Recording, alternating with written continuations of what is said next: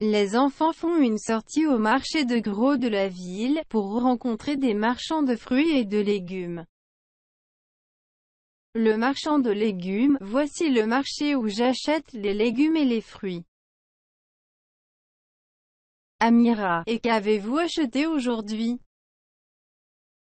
Le marchand de légumes, dans les corbeilles de fruits, j'ai acheté 15 kg de pommes au moins 20 kg de pommes 62 kg de pêche 64 kg de mandarines 65 kg de prunes 66 kg de papaye.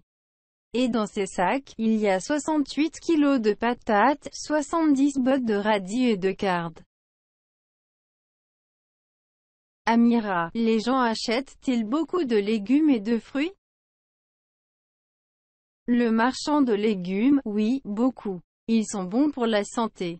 Ils contiennent toutes sortes de vitamines. Mais n'oubliez pas les viandes et les poissons, riches en protéines. Y dire, merci beaucoup, monsieur, pour toutes ces informations.